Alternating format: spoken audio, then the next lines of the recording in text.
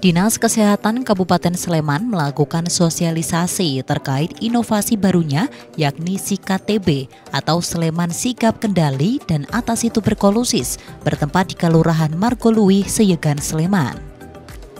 SIKATB sendiri merupakan layanan komprehensif multisektor untuk menjamin akses pelayanan standar pemeriksaan terduga tuberkulosis pada masyarakat kumuh.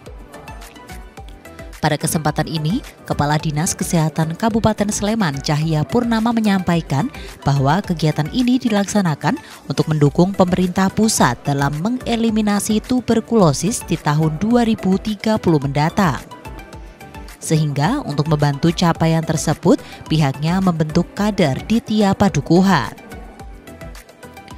Sehingga dengan adanya inovasi si KTB ini, harapannya mampu menemukan kasus tuberkulosis dan memberikan pengobatan kepada pasien hingga sembuh lebih efektif. Yeah, uh, kegiatan hari ini kita implementasi dari inovasi SIKTB.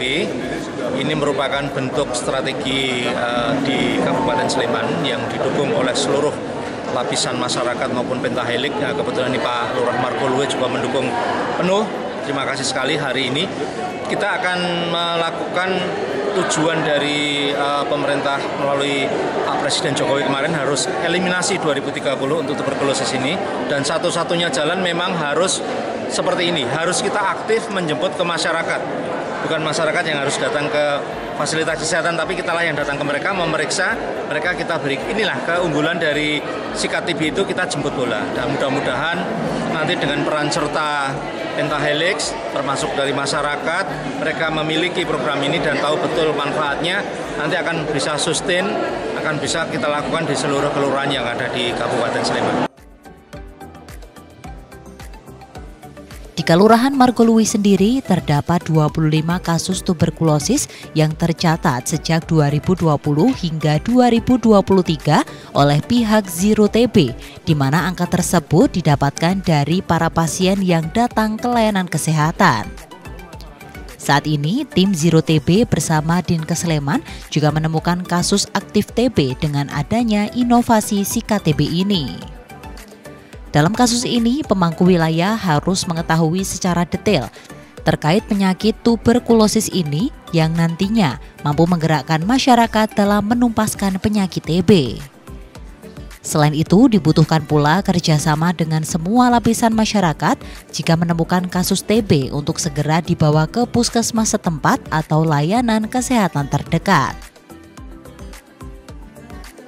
2020 sampai 2023. 2020. Jadi memang kalau kita melihat ada sempat menurun di 2020 ke 2021 kemudian naik lagi 21, 22, 23 hmm. itu semakin naik semakin naik dan lokasinya itu ada di tempat-tempat yang tadi kita lihat. Apa tantangan kita harus melakukan penemuan secara aktif ini karena kita melihat pertama belum semua warga mungkin belum masyarakat kita belum semua paham. Jadi angka yang kita dapatkan itu banyak kan yang memang dia datangnya ke layanan kesehatan. Jadi kita kalau kita belum pernah melakukan seperti ini ada ada asumsi kemungkinan besar kita bisa mendapatkan kasus lebih banyak lagi. Kegiatan tersebut turut diapresiasi oleh pemerintah kelurahan setempat mengingat di Kelurahan Margolui sendiri terdapat banyak temuan kasus TB yang harapannya pasien yang terkena penyakit TB bisa sembuh dan masyarakat lain tidak ikut tertular. Tanggapan kami sangat senang karena uh, Bapak Kepala Dinas itu sudah mencanangkan kepada Margolui karena melihat di Margolui itu eh, TB terbanyak. Nah ini Alhamdulillah kita bisa bekerja sama dan kami tunjuk nanti mudah-mudahan dengan adanya uh, TV ini, TV ini nanti uh, warga masyarakat Margoleh bisa terdeteksi dan bisa terobati dan warga masyarakatnya bebas dari TB.